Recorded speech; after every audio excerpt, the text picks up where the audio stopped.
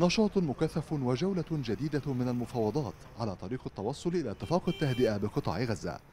الرئيس المصري استقبل ويليام بيرنز مدير وكالة الاستخبارات الأمريكية ضمن اجتماعات تستضيفها القاهرة مع وفود إسرائيلية وأمريكية لبحث النقاط العالقة في الاتفاق. وذلك بعد توقف دام لأسابيع لم تتوقف خلالها الاعتداءات الإسرائيلية الدامية ولا حصيلة الشهداء والمصابين من المدنيين يوما واحدا.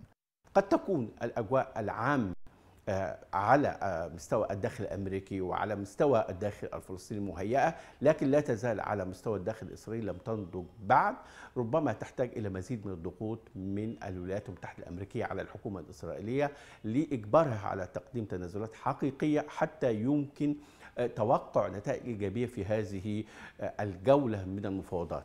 تجتمع الوفود بينما يظل معبر رفح مغلقا بعد احتلاله من الجانب الإسرائيلي. ويستمر دخول المساعدات الإنسانية شحيحا إلى القطاع عبر معبر كرم أبو سالم مصحوبا بتجديد إسرائيلي بل ومنع في أحيان عدة رغم تكدسها على الجانب المصري.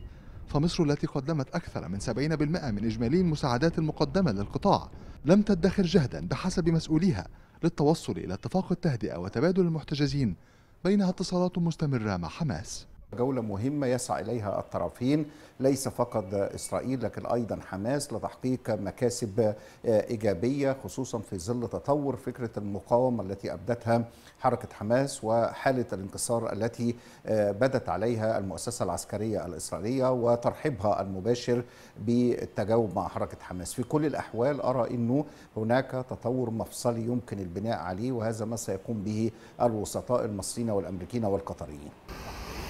خلال ساعات يشارك وفد أمني مصري رفيع المستوى في مفاوضات بالدوحة في مهمة لتقريب وجهات النظر بين حماس وإسرائيل ضمن تحركات تستهدف الوصول إلى اتفاق الهدنة في أقرب وقت ممكن. حراك يتجدد بالقاهرة ومفاوضات تسعى لوقف إطلاق النار في قطاع غزة. وقف يضع حدا للمآسي الإنسانية التي يواجهها سكانه ويسمح بإدخال المساعدات دون عائق.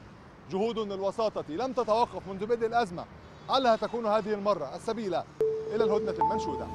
لحبيب قناة الغد القاهرة.